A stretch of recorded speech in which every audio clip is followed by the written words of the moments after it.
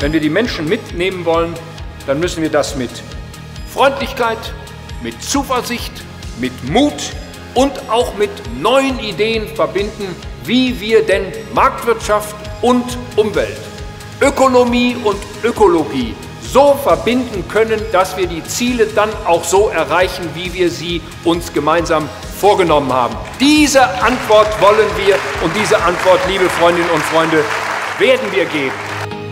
Unglaubliche Resonanz, querbeet von den Fragen her, aber wirklich das, was auch die CDU ausmacht, für das Grundsatzprogramm Gold wert.